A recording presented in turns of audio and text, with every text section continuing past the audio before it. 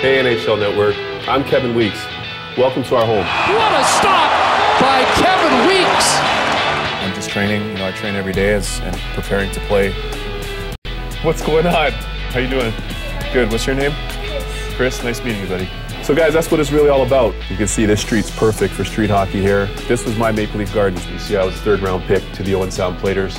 Can't believe they misspelt my name. Guys, feast your eyes on the steak on a Kaiser. Don't be shy. Mmm, so good.